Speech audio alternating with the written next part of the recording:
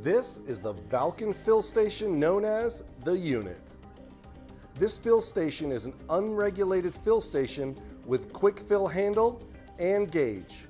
They are made with a solid billet aluminum body and CNC machined air passages, so there is no need to worry about blown internal hoses or leaking fittings. There are no moving O-rings and uses one single Delrin seal that is easily replaced. They also have a filtered rear exhaust to be silent and efficient and front and side air outlets to run your airlines the way you see fit. The unit comes just as the fill station and does not include any connections or hoses.